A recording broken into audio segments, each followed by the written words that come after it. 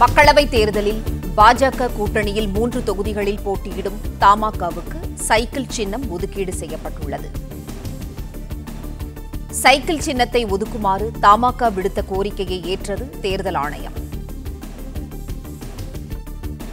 மக்களவைத் தேர்தலில் பாஜக கூட்டணியில் மூன்று தொகுதிகளில் போட்டியிடும் தமாகவுக்கு சைக்கிள் சின்னம் ஒதுக்கீடு செய்யப்பட்டுள்ளது. சைக்கிள் சின்னத்தை ஒதுக்குமாறு தமாக விடுத்த கோரிக்கையை ஏற்றது தேர்தல் ஆணையம்.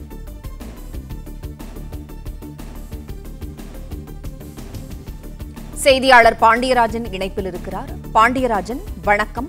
தமாகவுக்கு சைக்கிள் சின்னம் ஒதுக்கீடு செய்யப்பட்டுள்ளது. விவரங்களை சொல்லுங்க வருகின்ற நாடாளுமன்ற தேர்தலில் பாஜகவுடன் கூட்டணி அமைந்திருக்கக்கூடிய தமாகவிற்கு தமிழ் மாநில காங்கிரஸ் கட்சிக்கு சைக்கிள் சின்னம் ஒதுக்கப்பட்டிருப்பதாக தகவல் வெளியாகி இருக்கிறது. குறிப்பாக சைக்கிள் சின்னத்தில் தேர்தல் ஆணையத்திடம் கோரியிருப்பதாக தமாகவினுடைய தலைவர் ஜி. கே. வாசன் தெரிவித்திருந்தார். அதன் அடிப்படையில் பாரதிய ஜனதா கூட்டணியில் தமாக அந்த மூன்று தொகுதிகளில் சைக்கிள் சின்னத்தில் போட்டியிடுவது உறுதியாகி இருக்கிறது.